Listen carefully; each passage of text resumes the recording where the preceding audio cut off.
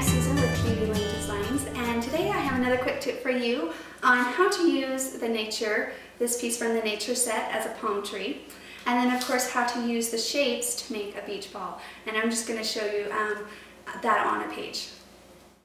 Okay, so to accomplish the palm tree look with the nature set, she actually just used that and then she used um, one of the sets from Cascade Trails for the trunk. Now that kind of just adds a funky look and of course you could just mark it and cut down, cut only the piece that you need, but it was a fun little image that she did. Or you can even use the arrow from the nature set itself to make the trunk, um, just like you do with the trees. Um, but any of them really will give you a fun trunk and I just thought it was cute how she did that with that. And then she even cut into these and I'll show you her finished layout here at the end of this video on that. And then to accomplish a beach ball or a ball or whatever you want, you could take the circle from the shape set and then the oval and then you have a beach ball. So those are just some fun things that you can do and use them in different ways.